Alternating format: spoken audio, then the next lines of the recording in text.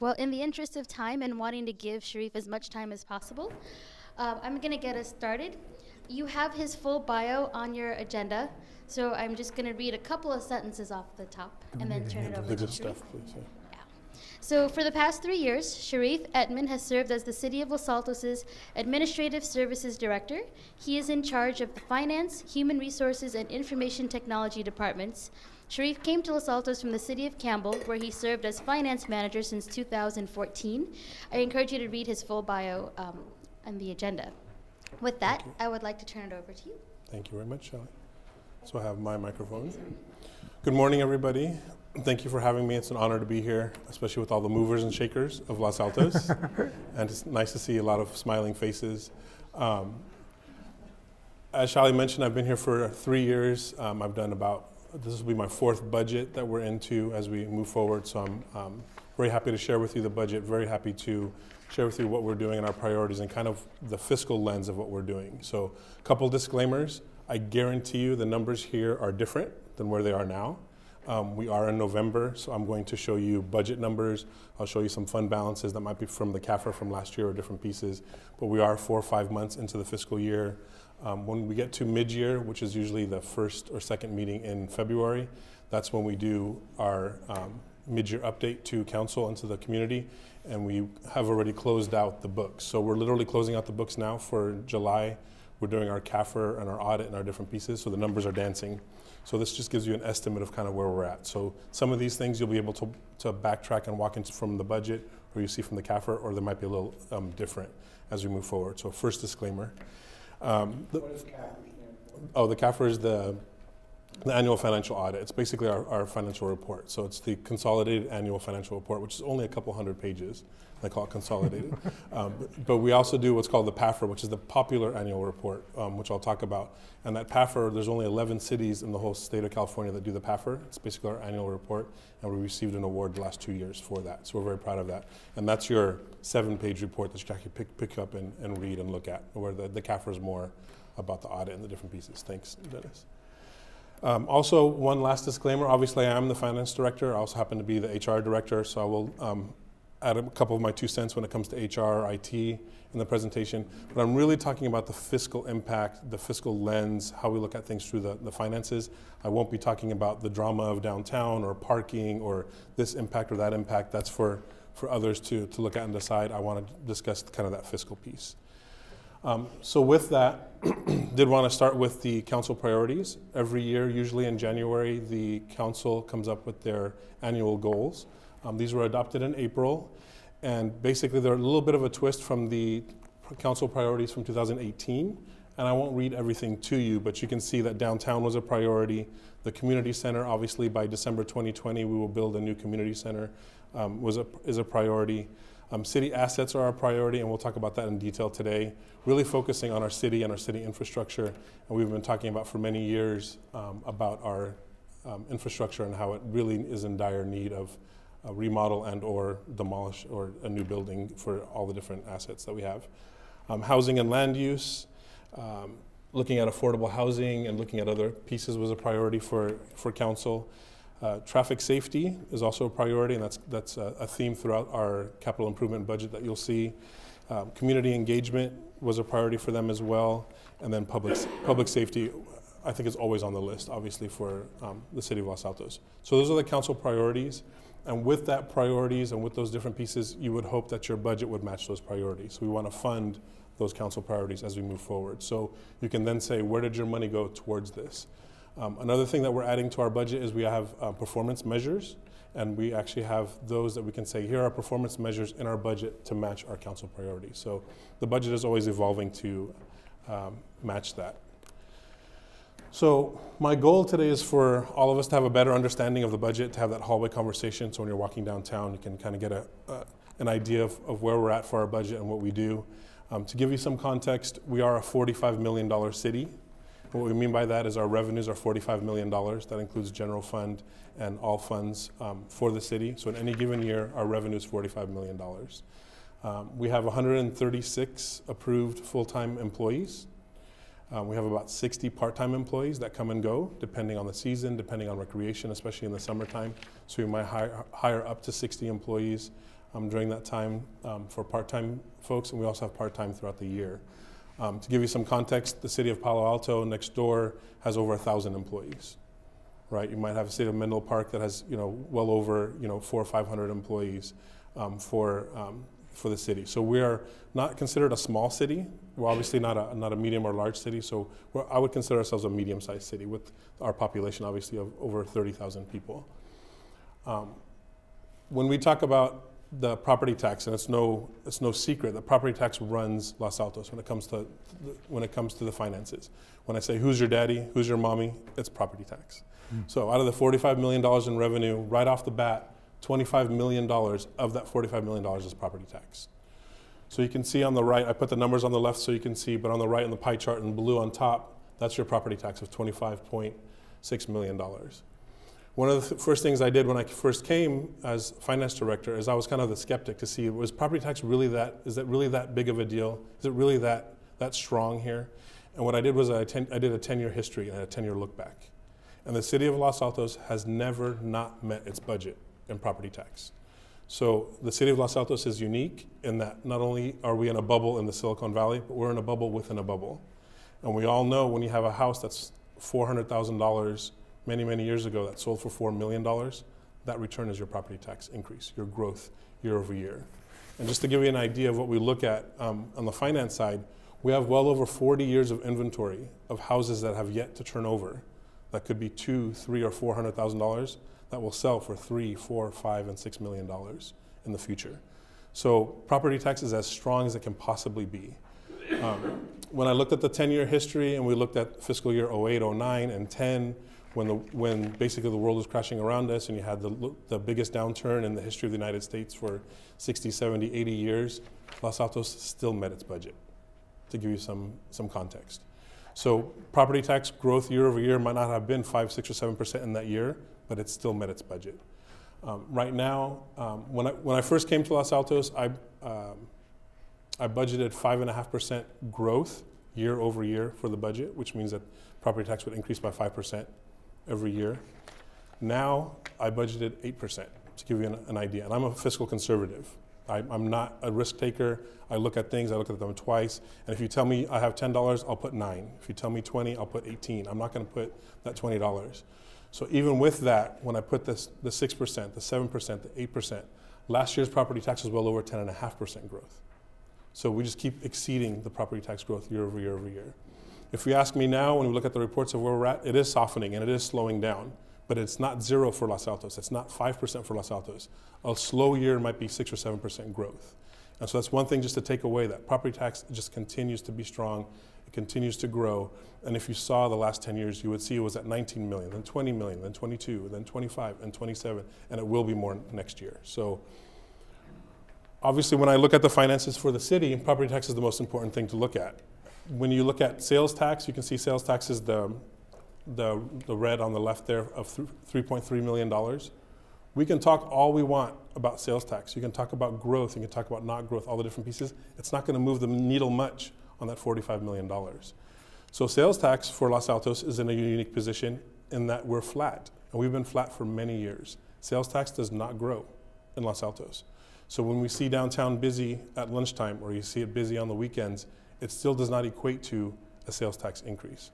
For the first time this year, I'm actually budgeting a decrease in sales tax because we do not have big box stores. We do not have, you know, besides a couple on El Camino and, and Safeway and things like that. But there aren't many things that move the needle for sales tax. So that's an important point I want to note on just the finance side.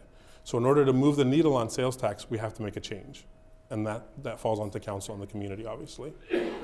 We then have utility users tax, which is your um, 3% or 3.5% on your phone, your cable, all your other pieces. A big piece I want to talk about is the transient occupancy tax. We are a small city, we only have three hotels.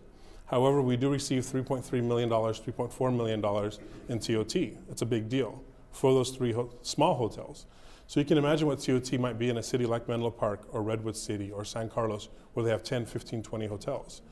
Um, the biggest piece that happened financially was the passage of the TOT increase that, the, that US voters passed.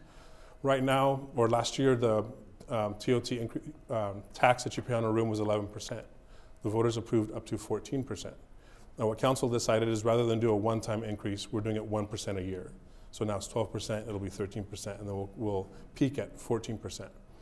The big, the big piece financially on that is just that 1% increase is $700,000 a year to the city, right? And I wanted to make a note of that $700,000 because we're going to park that number because it becomes very important in the future why that TOT increase is so important.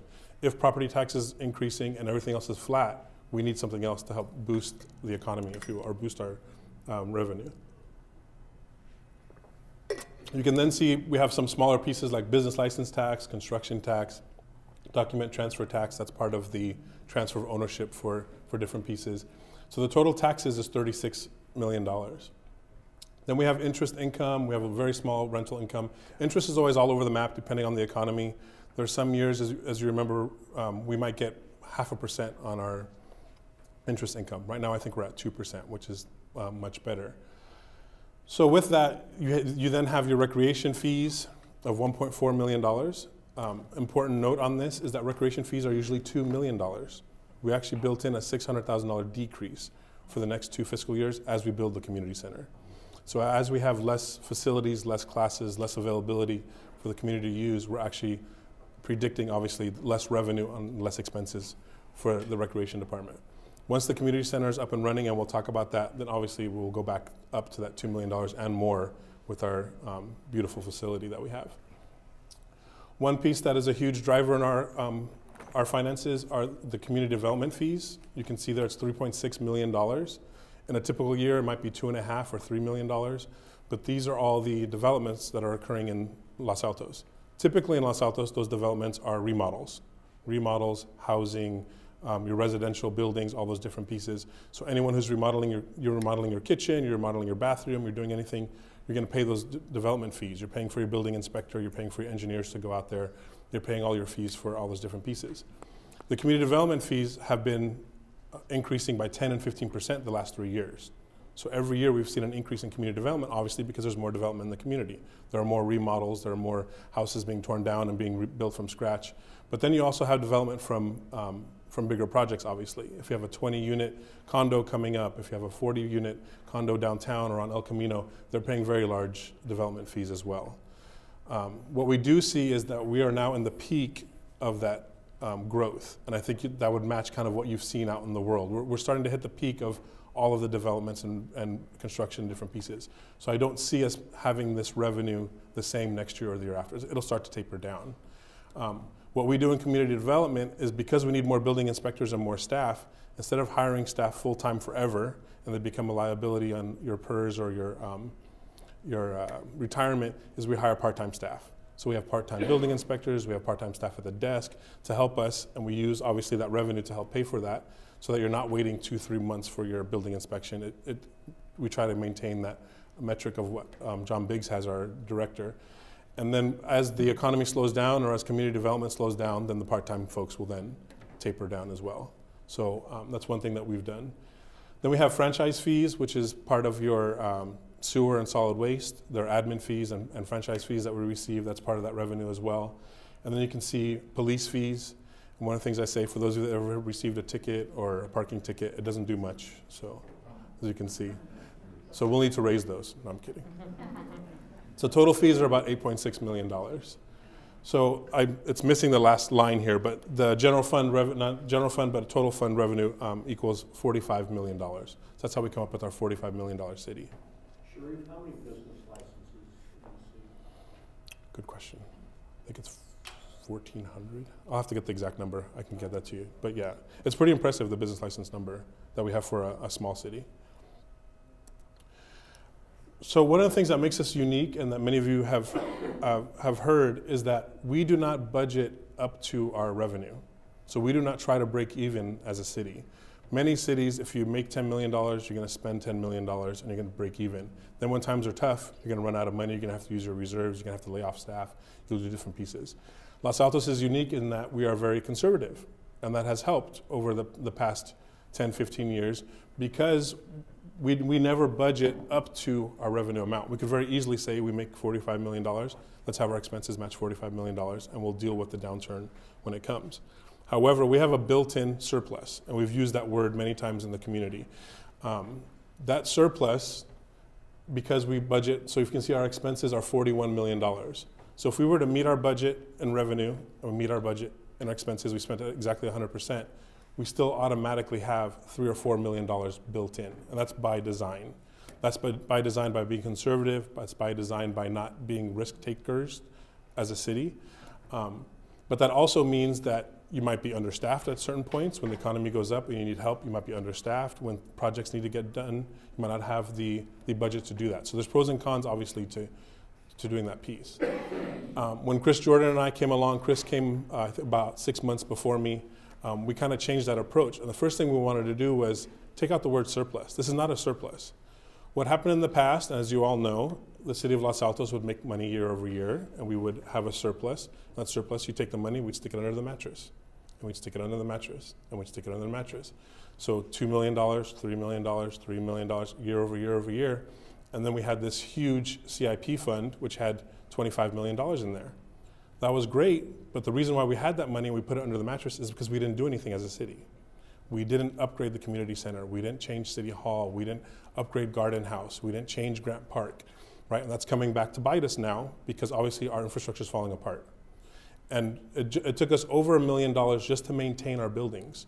So they did an infrastructure report and it came out with a report that says just to maintain the level that you have right now is costing you a million dollars. We're actually losing money because we haven't done anything to these buildings. So what Chris Jordan and I talked about, and with, with council's help, is that we need to invest in our infrastructure. It's nice to have $25 million sitting in the bank under the mattress, but we need to use it, and we have to spend it. So when we had that money sitting in the bank, and we'll talk about all the funds um, that we have, those funds were gaining 0.7, 0.9% interest rate in the bank, but construction costs were going up 5, 6, 7% year over year. So I finally went back to council and explained to them, you're actually losing money. So that $25 million that you put under the mattress is not worth $25 million when it comes to a project or a different piece. So if you have a million dollar building that you're trying to build, if you wait three, four, five years, obviously it's going to be 1.2, 1.5 million dollars later. So the time is to spend now. So the first thing, to my surprise, and um, Grace was here and other folks were here, um, but my first article in the paper was new finance director spend, says spend money. That was my first article. Spend money. It's okay. You have the money. Don't be scared. Because guess what? You're going to get more money next year because the way we budget, you will have money. That surplus might be $2 million one year, it might be $5 million the next, but you're okay. Don't be scared. So it was interesting to see that as we first started. So where does our money go? Obviously, it goes to mainly staffing. You can see in the big blue um, pie, pie chart there, that's public safety is $19.4 million, all our police officers. You can see that maintenance services, MSC, maintenance services are the folks that are out striping the roads and cutting the trees and doing the, the weeds and keeping our streets safe and doing all the, the CIP projects for us. Um, that's $5.6 million there on the bottom. You can see at the engineering department, community development, administrative services, that's my department, so that's finance and HR and IT. You can see executive and then legislative as council. So when I first began, the fiscal directors that in the past, they would always say, oh, you know what, we're going to have a million dollar surplus, or we'll have a $2 million surplus. And year over year over year, we'd have a three or four or $5 million surplus. And we still stuck that money and we put it under the mattress. What Chris Jordan and I did is we changed the way we presented the budget a little bit. And we said, no, it's not a million dollars. We know already that built in we're going to have three or four million. So we need to say it, we need to account for it, and we need to start spending it. And so You'll see in this um, budget that's the, we do a two-year budget here. You'll see in this budget, I'm projecting a $4 million revenue over expenses. In the past three years, when I first came, we had a $6 million year-over-year surplus, a $5.8 million surplus, and a $5.5 million dollar surplus. So nowhere near a million dollars. We're well above that. But to say that we're going to take that and put it under the mattress doesn't work because number one, we're losing money in our funds. Number two, we have a community center to build, we have infrastructure to look at, and we have um, our unfunded liability for PERS that we need to look at. So we'll talk about that. Um, this is straight from the adopted budget. Just quick highlights. Um, total tax increase was 7% um, year over year, so a $2 million increase in our property tax. Property tax increased 8%. Like we said, I could have easily put 10% in there and we would have been okay. However, I did not put that in there. Um, based on just being conservative. The TOT tax, it's 11% growth over the current year. That's because of the one-time bump in your $700,000 in revenue. That'll flatten out um, over time. Sales tax was at zero, and then every other tax was zero. So really, the only thing that moves in Los Altos is property tax as we move forward, and a little bit of the community development uh, fees. The interest income, obviously, as interest rates are better for us, the more money we invest, um, we're getting a better return on that. And the community development fees were strong. And I talked about those pieces. On the expenditure side, obviously, we built in all our salaries, we built in our MOUs, we built in salary increases for staff, all the different pieces. Um, you're all familiar with um, the budget that we added a Safe Routes to School coordinator, we added a sustainability coordinator um, that's funded out of our solid waste fund and general fund.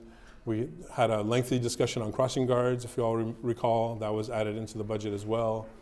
Um, we, for the first time, we're, we're contributing money to the Los Altos Chamber of Commerce, $50,000 a year. That's coming out of that TOT increase to help with um, the commerce and their activities. And the big piece was the CalPERS unfunded liability. Um, we did not have a CalPERS reserve when I first started. Um, Chris and I started, and with council's support, created a, what's called a PERS reserve. So we're not going to get into too much detail on the unfunded liability today. I know I've talked about it before. But basically, we pay about $1.3 million a year in retirement costs for our employees. CalPERS has been writing on this formula for 30 or 40 years that was flawed, and they would say, you know what, we're going to get 10% return every year. We're going to get 14% return every year. And finally, that's been coming back to bite them. And so that's not realistic. You're not going to make 14% year over year. You're not going to make 10% year over year. And so what they did was they lowered what's called the discount rate. And what they assumed was that every year they were going to make 7.5%. And just a half percent decrease to the cities because they lowered that discount rate or their assumption of a 7.5% rate of return, that half percent, the burden goes to the cities. So you can't go back to the employees and get the money from the employees because that's a contractual obligation. You can't get it from other, other pieces. You can't just raise it um, in different ways. So the burden fell on the cities. So it was a big deal, that half percent. So for us, just our $1.3 million payment, every year it's going to go up by about $200,000. And at some point, the payment's going to double to 2.5, 2.6 million dollars. So it's a big deal. However, for Los Altos, because we're so financially strong, we will be okay. We're going to address for it and we'll plan for it, and we have a plan moving forward. But you can imagine a city like Palo Alto, they're in the paper every week about their unfunded liability. Their unfunded liability is $1 billion with a B. So it was 900 million, $1 billion um, with a B. And that's not sustainable, it's not realistic, and so they're in dire straits trying to figure out what to do. You can then also imagine cities like San Bernardino or Stockton or other places out in the desert that have doubling or tripling payments. They're in, they're in dire straits financially. So we're in, a, we're in a totally different boat here in Los Altos, and we're able to address that. So the first thing we did is, if you recall, we have our, our what we used to call surplus, our revenue over expenses. Every year for 20, 30 years straight, it would go towards CIP, and it would go towards a 20% operating reserve, which I'll talk about. There was no other place to, to save, if you will. Now we actually have a PERS reserve. And when I first started, we made it a $3 million PERS reserve. Now it's $5 million because every year we've added a million dollars to that. And basically the point of that is at some point this year, we're going to make a very large payment. So it's like having a big mortgage payment with this huge interest rate. We're going to write out, we're going to write a check for $5 million to PERS and say, here, knock our, start knocking out some of our, our high interest um, loans that we have with our unfunded liability. So the purpose of that PERS reserve is not only to mitigate some of the increases, but also to, to knock out some of those payments.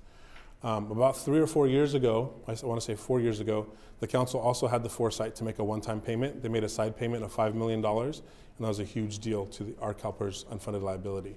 So once they made that side payment of $5 million, it kind of refinanced our rates, if you will, and we, we, we receive lower rates now than um, typical cities do. So we're probably one of one of the top 10% of all the cities in California when it comes to being poised for that unfunded liability. So when I tell council, when you see it in the paper, whether it's the local paper or the Post or, or LA Times, I always tell people Los Altos is fine. We're going to be okay because we can mitigate for that. As long as we're smart about it, as long as we have a balanced approach. How am I on time? So on the, we talk about a balanced two-year budget. For the first time, you'll see a $4.3 million operating um, revenue projected. So this is our, I'm projecting a $4.3 million surplus or revenue over expenses. But I'm already spending that money, and I'm already going to budget for it. So it's just balanced, and I'll explain why. And then next year, I'm looking at about a $4.8 million revenue over um, expense budget for, for the year. The final amount depends on our loan. So I'll talk about the community center and that the community center got approved. As you all know, the community center's gone, doesn't exist now.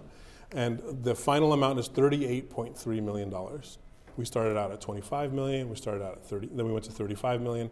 The final amount that council has approved is 38.3 million dollars. And as we were talking, I said, it's okay, keep moving forward. We have the funds, we, we, have, we have the capability to borrow. And just so you know, right now as a city, we literally borrow 0.002% of our entire budget. I think I have a loan for $80,000 out of the $45 million, as opposed to other cities might have a $10, $20 million loan um, for the year. So we have no debt, basically. Um, so the one thing that we're looking at is about a $10 million loan. That $10 million loan over 20 years with a very good interest rate is about $700,000 a month. I mean, $700,000 a year. That $700,000 a year, that payment that we have to make, remember, just fiscally speaking, we're fine because of TOT. The TOT increase came, that happens to be $700,000. So kind of like if you're doing your household expenses and you have this, all of a sudden you have this $1,000 bill, well, I just got $1,000. So we're okay. So now we're still kind of at that net zero. So that $10 million loan, if you will, doesn't, doesn't scare me as your finance director, and it shouldn't scare council. I know council is very leery about that loan, but we will be fine. So obviously, depending on that loan amount, we'll see where we are um, with our year end. So the, the transfer is needed annually. So we don't put, we're not putting that $4.3 million in the mattress, under the mattress anymore. That $4.3 million automatically by policy, council has a policy, is that we have to have a 20% operating reserve. So right off the bat, right now, and I'll get to the slide, we have a $7 million operating reserve for our rainy day fund. And every year we put five or $600,000 into that fund to match. Um, national guidelines, GFOA, which is a national um, organization or government finance officers association, their guideline says you should have 15 to 20 percent um, operating reserve as best practice. So we have that, and we've, we've built that in. Then the rest of the money used to go through go to CIP, and that's the money would just build up and build up and build up. So what I finally asked for last year was you said, you know what, it's very misleading to throw $20 million into a fund and just let it sit there because it makes it look like we have all this money. So what I did was I renamed the CIP fund to the Community Center Fund. So then you could see that 20, there's $23 million sitting in that Community Center Fund, and it's going to go to zero because we'll spend it. So in two years, the, the Community Center Fund should be zero. Then what we did is we created a real CIP fund, which happens to have only $4 million in there now. And every year, we'll replenish it with this revenue over expenses right? And as your finance director, you should never have more than 10 or 12 or 15 million dollars in that CIP fund because we should be spending it as we go along. It shouldn't be zero, but at the same time, it, it should not be 25 million dollars because we have way too many projects to, to do to, to do that. So taking that approach of, of a balance. Then the last piece by policy, what we're doing is we're, we're adding to the CalPERS unfunded liability fund. So if we have a $4 million surplus or revenue over expenses, we're going to do. We're going to put first money in the 20% operating reserve. We'll put money in the CIP, and then we'll put money into the um, CalPERS reserve automatically, year over year over year, automatically.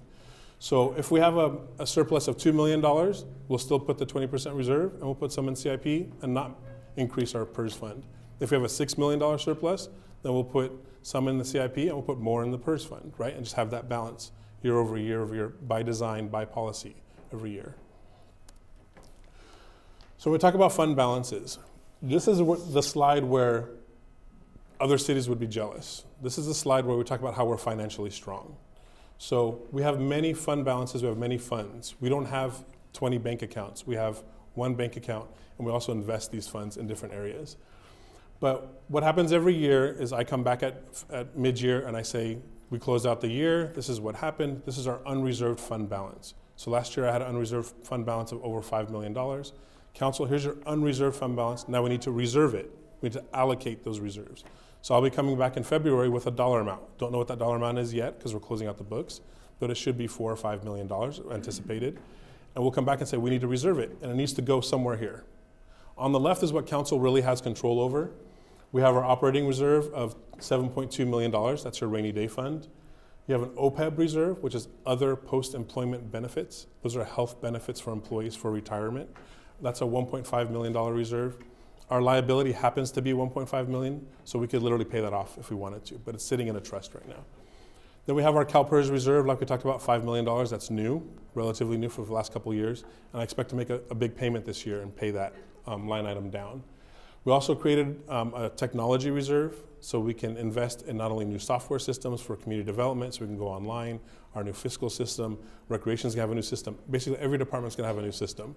So we're moving up 25 years in software um, for the city. This includes new laptops, new surfaces, new iPods, uh, iPads. When you have you know, building inspectors out in the field, we expect them to be digital, all those different pieces. Um, you've heard me say, as um, when I wear my different hats, as HR director, finance director, IT director, we're in the middle of Silicon Valley, right? This is the dot com capital of the world. I can pull out my phone right now and I can buy a Honda Civic from the credit union. I want it blue, I want it this thing, and they will come and deliver it to the library tomorrow, right? That's expectation that we have in, the, in Silicon Valley. So there's no reason why you can't check your building plan or your building or your business license or whatever it is. This is 2019, it's 2020. So you should be able to pull out an app, you should be able to pull out your phone, check the finances, check your, your account, check your, your kitchen remodel, all online. Same thing with CIP projects. If we have a CIP project like the community center with our new software system that we're going live on um, in less than a year, you should be able to click on a map, click on the community center, see the budget, and drill down and see the numbers. Right? That's the expectation that I have. It's the expectation that Chris Jordan has and that we have as, as a group. So really moving leaps and bounds, and it takes money to do that, obviously, moving forward. So then we have our new community center fund and then our capital improvement fund, as we talked about. Then, the, and this is under council purview. So council can move this money back and forth anytime they want. They can change the names, they can change the amounts, they can do what they want on this left side. It just takes um, a vote, obviously. Then on the right side is enterprise funds. The enterprise funds are obviously, those are required. Those are required by law, by statute, whatever it may be. We have a sewer fund, we have a solid waste fund, we have internal service funds, so I have a workers' comp fund, you know, for example, and other pieces, an insurance fund. And then we have special revenue funds. We have gas tax. And one of the biggest pieces about gas tax is that the gas tax did not get repealed, if we recall. That's a huge dollar amount for the city of Los Altos, for all the cities. So financially, when the gas tax did not get repealed, that's a huge relief on the general fund. Because had the gas tax gone away, the money that we pay for the gas tax, that would have been general fund money. That would have eaten into that $4 million revenue over expenses. And then the same thing with Park and Lieu. And I'll stop to talk about Park and Lieu for a second.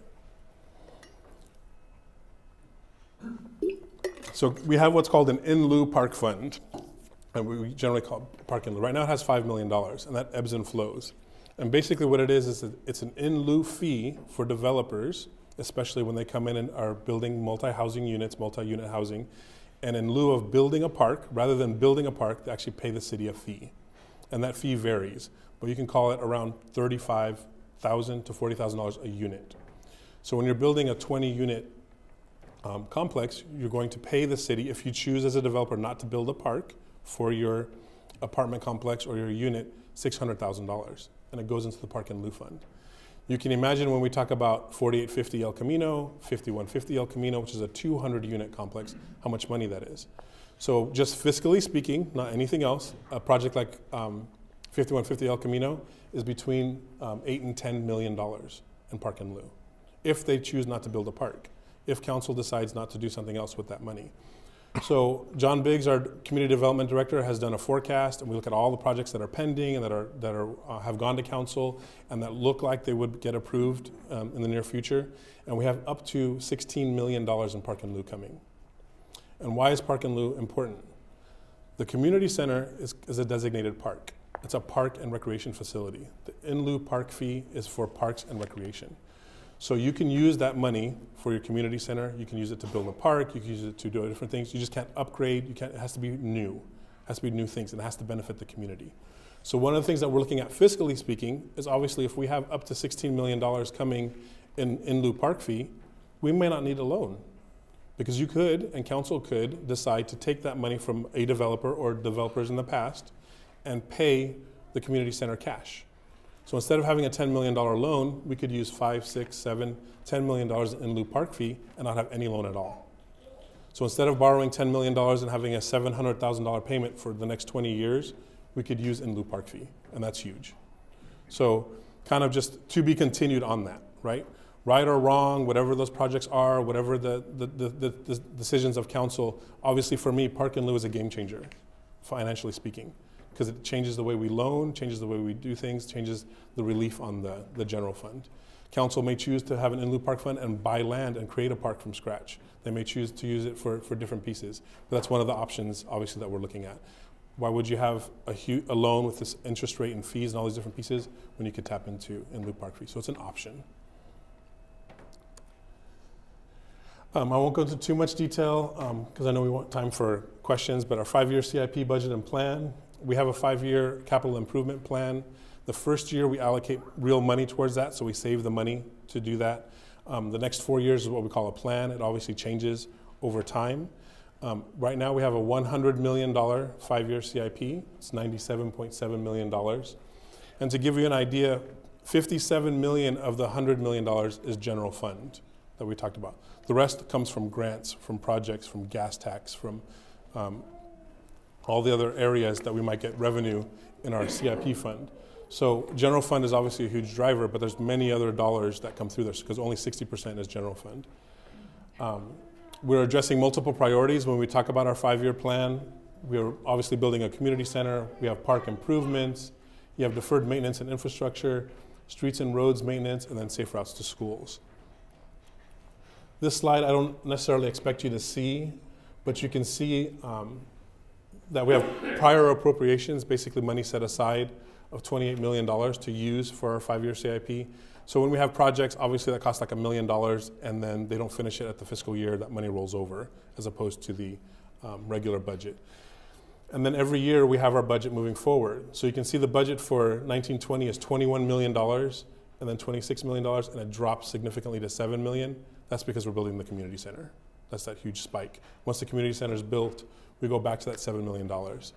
So out of all the funds that we use, whether it's gas tax or Measure B, which is the um, Road Accountability Act, which the, the governor passed, or we use sewer fund or technology or other pieces, uh, we need about two and a half million dollars a year in CIP in general fund money, right?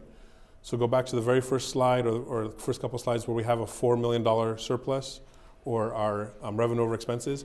Right off the bat, you have to park 2.5 million for CIP. Then you, you can have your 20% reserve, then you can fund your operating, right? So you'll never see a finance director like me or anyone else budget so closely that it's going to eat into that CIP. You obviously want to hopefully have the CIP money, CIP money year over year over year. And the way we're built, we have that. So if, the, if times are lean, if times are bad, and we don't have that, then you would just reprioritize some of your CIP priorities and not spend that two and a half million. Maybe spend two million dollars in a lean year. When times are good, obviously we can then increase it. We talk about increasing our, our roads and our PCI, which is our pavement condition index, we can have smoother roads and, and, and reduce the, the need for um, maintaining those roads later. So the CIP is really where your, where your money ebbs and flows um, moving forward. So in here, we talk about the new CIP projects. This is all, this is nothing new to you. We talk about the Veterans Community Plaza. Um, we have a capital and equipment replacement fund, so we ask for new vehicles that get replaced on a schedule. Um, you can see all the different pieces that are there. We report out to council all the closed projects, so whether it's fir- an undergrounding project or a First Street resurfacing or a traffic sign battery backup, all the, the projects that we have. And then some projects might um, drop off the list. So I want to make sure I leave enough time. Um, what's, what's, what's our financial focus? We look at the financial lens, obviously the community center project is, is a major focus. It's a huge project, the biggest project the city of Los Altos has ever undertaken, $38 million. Um, we're looking at obviously a debt payment. We have financial commission working out in different ways that we can have a debt payment. The ideal thing for me is if we could find some sort of um, credit, loan, a line of credit it can kind of ebb and flow. We might need to borrow 4 million, might need to borrow 10 million, depending on where we're at. So we're trying to find something that obviously, and we also want something that doesn't have a prepayment penalty because we could get a 20 year loan with a very low rate, but I might want to pay it back in six years. I might want to pay it back in three years. So we're trying to find something that's flexible. But what's obvious is that we need, it's for cash flow. We have to, we have to get that loan to, to fund that cash for the community center. Um, the CalPERS unfunded liability, just being balanced and being um, disciplined to make that payment year over year so it doesn't come back to bite us three, four, five years later. Um, that's the hardest part is being disciplined and not spending the money now instead of um, putting money aside for your CalPERS. Um, and then obviously prioritizing our capital improvement plan. We've talked about every building in Los Altos needs to be remodeled or rebuilt or, or, or fixed. And um, Chris Jordan and I and everyone else on the exec team have been very vocal about that, about all our buildings need to be remodeled.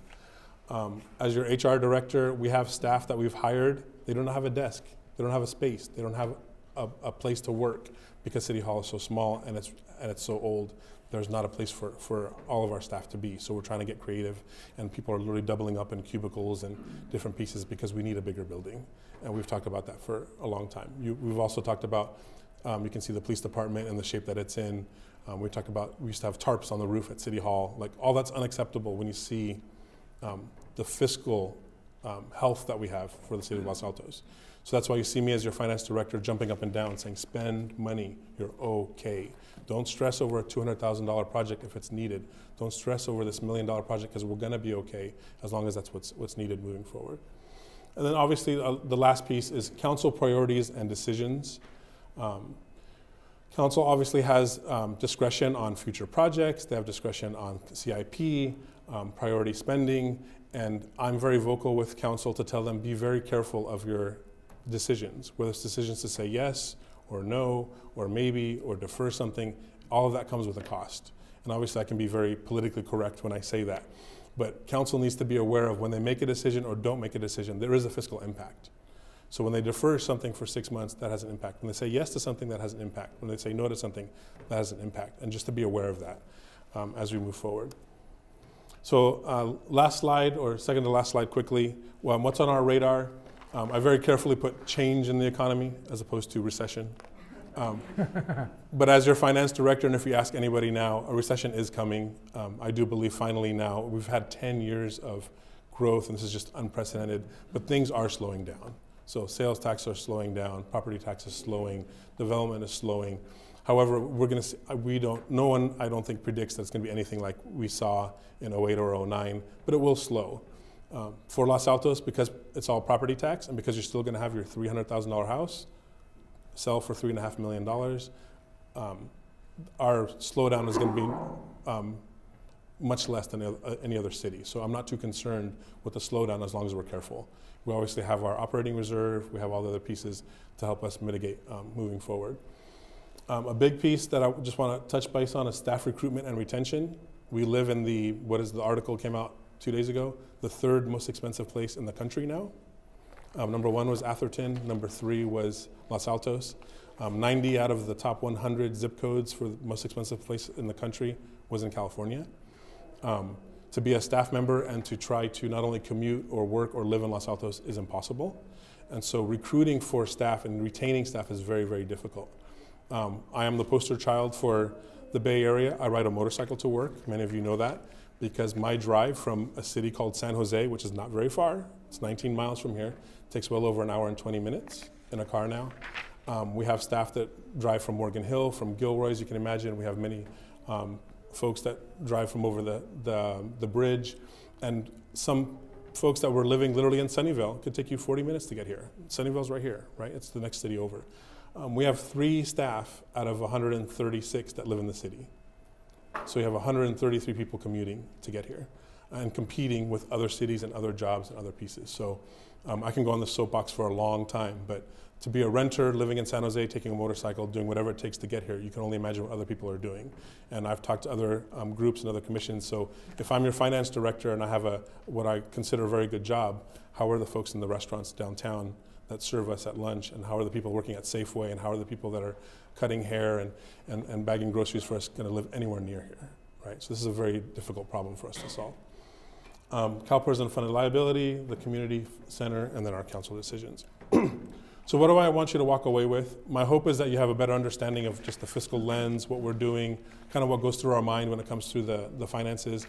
Our finances are strong. We are doing very well. We have funds, we have reserves, we have money in the bank. Um, we can do that with proper planning. We can um, move Los Altos forward, and you can see a, a, a, difference, whether it's in our community center or our roads or our streets or different pieces.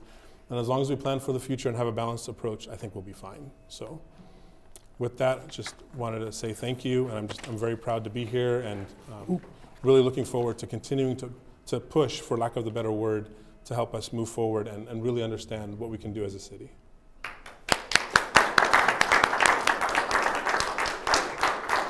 Um, I'd like to, I'm going to moderate the Q&A and I will um, call on people and then uh, Shelly, uh, actually Larry will be running around with the mic so every, we can have this all as part of the presentation. Personally, as one of the co-chairs of LACC, I can't thank you enough, Sharif, for coming today and presenting this. It, it answered a lot of questions that I've had in my mind and I avidly watch and get involved with the city and it was um, eye-opening just to see money coming in, money coming out, and, and what's happening with it. So thank you very much. Thank you. Uh, Kim. Yes, Sharif, thank you very much for the uh, highly informative uh, presentation. I had a question. In the second to last slide, you had litigation costs under Yes, I council decisions. talk about that. And I was curious about how financially you think about that, because I notice on closed sessions, there, I haven't kept track of how many lawsuits the city's involved in, but there are quite a few. Uh, and I expect there will be more in the future. I know that it looks like 5G is headed that direction, depending on what the council decides. How do you factor that into the budget? What's the, you know, how, how much are we spending uh, in attorney's fees, and do you have to think about what to reserve in case they don't go well? Yeah, um, excellent question. That's one of the things that's that's changed over, over the last couple of years. That's certainly on my radar, on Chris Jordan's radar, and uh, an executive team, is that our litigation costs are rising. Um, when it comes to um, whether it's a when you say no to a developer and developer comes back and is in litigation, or like 5G nodes, for example, is, is, a, is a very big deal. Um, I came last year at the last mid-year, and we we increased our litigation cost by five hundred thousand dollars. So we did a mid-year revise of five hundred thousand dollars.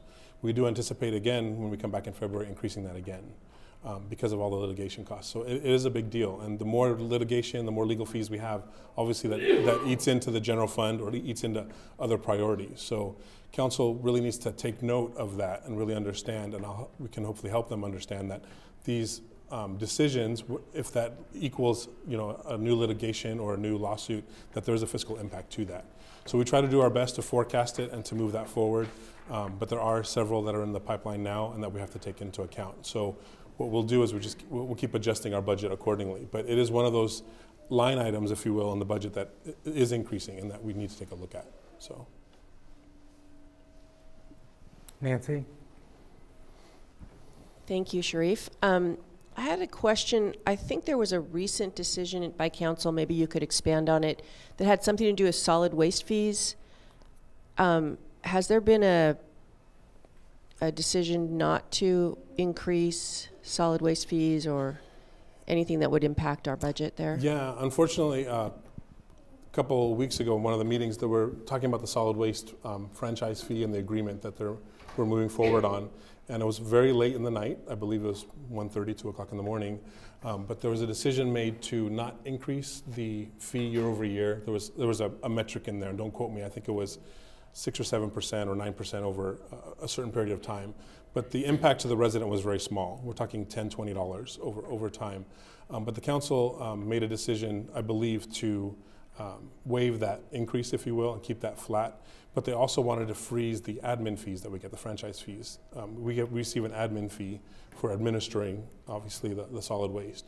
So I'm still in, that, in the early stages of analyzing that decision to see what exactly what was decided, what, what was the wording exactly, because that has a huge fiscal impact. Because if they did waive the increase, that's obviously less revenue coming through for us. But if they did waive the admin fee or the franchise fee, then that's something that would um, possibly come out of general fund in the future if we needed to spend on solid waste. So solid waste and sewer fund have reserves, but there are plans to use those reserves in the future um, as we move forward. So that's a, a good example of a, of a council decision that we just need to make sure that we're aware of. And council can decide what they need; they can make that decision. Um, we just hope that they make that informed decision with the fiscal impact in hand as well. Because many times we'll write a council report with the fiscal impact and might say option one, two, or three, but it might not have option four or five there. And if there is option four or five, then we need to kind of go back and recircle so that the council fully understands the impact. And if they're okay with the impact, that's fine. That's their decision. So, Uh, Nancy, who's? Harry? You talked about uh, our buildings and the need for all the buildings that now re- remain to get more attention. So I'm interested in any insights you can share on where you think the major uh, building replacement or major renovation needs to go or will go Yeah. next. And I'm thinking about the fact that City Hall just got re-roofed and, A- and AC improvements. Uh, police building, which probably ought to be scraped, uh, got a new roof. Right. And then you got Grant Park. Right. And maybe maybe others that you're thinking about, Yeah. Garden House or Excellent whatever. question. I mean, obviously, we can't do it all. I would think, I would, I, I know, so first thing we're doing is going by the report that we have. There's an infrastructure report that actually says what buildings should be done in what order, if you will, or which ones are falling apart the fastest, or however we want to, we'll call it. Um, but then we also asked council to prioritize that. And I had been asking for many years, tell us in order what you want to do. So after the community center, what's next, and what are you going to do? And so um, last couple months ago, we finally were able to put that in order. So what, what we can say is what the council priorities are. Number one is the community center. Number two is the EOC. So the EOC will be built after that, which is out here in front of the police department. So we'll have a real functioning emergency operations center in front of um, the police department and city hall. Um, number three was the police department. So the police department will get some sort of remodel. And then number four, we get into Grant Park and some improvements. And then five through 10 kind of get hazy or fuzzy, if you will. But for us, that was good enough to say that's good. That's, you- it's well over, you know, it's millions of dollars worth of projects that need to be done. Obviously, when you put lipstick on a, a- on a, on a pig, it's still a pig, right? So depending on what you do and what you're doing, so the, the roof is a start, the AC is a start, but we have to really look at it. When you look at the police department um, remodel, what kind of remodel are we talking? Is it $2 million remodel? Is it a $5 million remodel? Or is it a $20 million new building? And that's what we're looking at, right, to be able to see what we're doing. Um, so it's, it's, it's difficult to pinpoint the dollar amount right now. So that's what our engineering staff is working on, is coming up with some recommendations. We obviously right now don't have the funds to build a whole new police department. So the idea would get a, get a, a major remodel, if you will, as opposed to just the, um, Where can I find that, prioritization in the, uh, it's in a council um, report, and I believe it's posted online, but I can double check. But it should be posted online. It's, in it's your all public. Technology efforts, I still have some trouble finding stuff on the website. Yeah, so You know a, that, too. Yeah, there's a technology master plan that's on there, and there's a roadmap. It's called the IT roadmap. Sorry. That is online that you can take a look at, so you can see kind of what the IT um, roadmap is. Na- uh, Nancy and then Jen. I'll be quick. Um, I was curious about rental fees. One of the big discussions we had about the community centers, we had a couple of preschools who were in there, were providing, I think, some rental or lease fees. How um, important is it for the city to to partner with various entities that provide services to our community, and in, and in terms receive rental income from some of that? I mean, it's obviously huge, and there's a huge potential with the new community center. So I know one of the one of the things that our director is looking at is what new um, community groups, what new groups can we have come into the community center, use that multi-purpose room, and really have a vision for um, moving forward. Um, what we have a vision of is remodeling these buildings so people would want to come. You'd want to have a Microsoft meeting in our brand new state-of-the-art, you know, recreation room, and, and really think big on the things that we could do. In the past, I mean, it's very hard to get someone to come into a building that's 60 years old that doesn't have air conditioning, doesn't have Wi-Fi, doesn't have. But with our new state-of-the-art building now, I think we, we can attract definitely new people, and with that comes new revenue right, for, for meeting space and for, for other pieces. But really having visions. I'm, I've been very vocal. Our garden house is a beautiful building. It's gorgeous on the redwood groves. It has water that flows through it sometimes. People should get married there, but the building doesn't lend to that right now. If we remodel that building, and we had the money to do that. It's really that vision to have wine tasting out in, in the patio at Lacey with lights out in the orchard, or get married at, at the garden house, and really have that vision for Los Altos, which, I, which we haven't had in the past. Jen? Um, I'm really curious about when you said that there are three individuals who work for the city who live in the city. And we've been having a number of discussions about teacher housing. And I'm just really curious about if there's a discussion regarding, um, as part of the teacher housing, of getting um, employee housing. And um, it's just very concerning to me when I hear about, you know, we've got these, have a block action team that we're going to really have to be working together and we're depending on ourselves. And just um, curious about that um, related to this um, having a big emergency and how we're going to handle it with people who won't even be able to get here, Right. right? To Right. help the city out. Yeah, um, that's a huge endeavor, but I think things have to change. We, we talk about affordable housing, we talk about things need to change, but then when it comes to actual change, that doesn't necessarily happen. This is my soapbox, this is my HR side. Um, but when, we talk, even when we talk about affordable housing in a new um, complex and we're trying to get below market rate units in different pieces, it still doesn't put a dent in affordable housing, right? If you're going to get seven new units, 20 units, it's fine and it's applauded to do that. But we really have to make a fundamental, fundamental shift in what we do. Um, we've talked about housing for, for staff and different endeavors. I know the Los Altos Women's um, I spoke to them as well, and we talked about you know looking at different pieces, but really thinking outside the box because this one onesie twosie approach isn't working to get many people here. What if instead of trying to get a house for somebody, what if we had apartments and we paid some of their rent? And you say, come work for Los Altos, we'll pay $500 of your rent or half of your rent or something, but something's got to give. Come be a teacher and we'll, we'll give you a, a rental stipend instead of trying to have this unrealistic dream, I think, sometimes of having a house. Maybe we should look at housing, maybe we should look at rentals or other pieces that we can take a look at. So we really have to think outside the box and it really has to have a, a different conversation, I think, than what we're doing now. Um, I'm going to move to John and then Larry. Um, just for everyone, anyone who needs to leave, it's 9:32. Um, but I'd like to keep going for th- those who want to stay.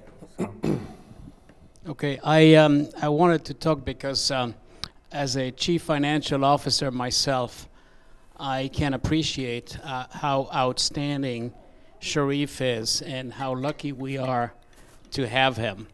Uh, he has he, he, he has evolved since when he first came.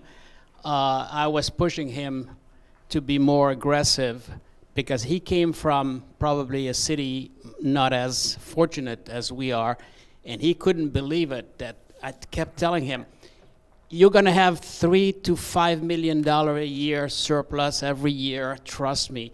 And and he was he he he, he wanted to believe it, but he it took him some time.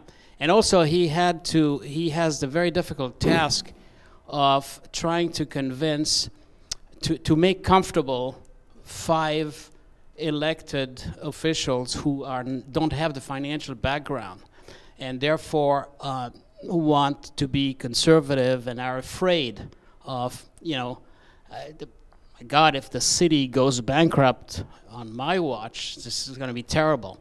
So anyway, so um, he, he's evolved quite a bit. He's he faces a very challenging job, not so much in because because of the financial situation, which is outstanding, but but having to juggle all those priorities and and convince the council to, to, to go ahead. So I want to say we're lucky to have him. I keep I'm worried all the time about uh, Sharif having to um, to commute by motorcycle, and I'm I'm worried about it, not just because we would lose a terrific uh, financial director if something happened to him, but also because he's a terrific guy. well, Thank you, well said. Um, Larry.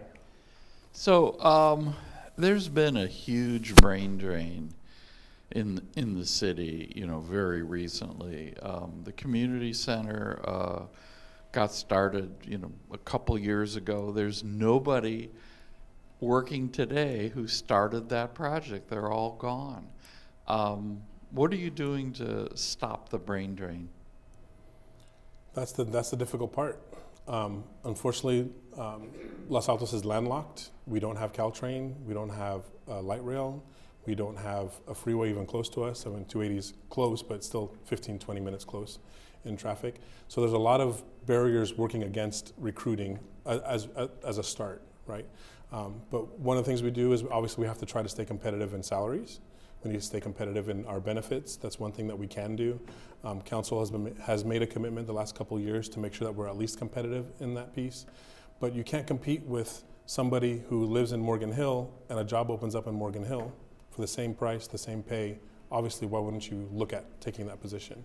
If you're in Fremont, we lose people all the time to the bridge because if you live in Fremont, you live in Newark, you live in Milpitas, and a, and a position comes up at a different city, you just saved yourself an hour and 10 minutes every day for the rest of your life, right? So there's the life decisions that unfortunately we can't necessarily um, change, But we do need to just, we, uh, we just continue to say, come work for Los Altos. Look at all the projects that we're doing. Look what's happening.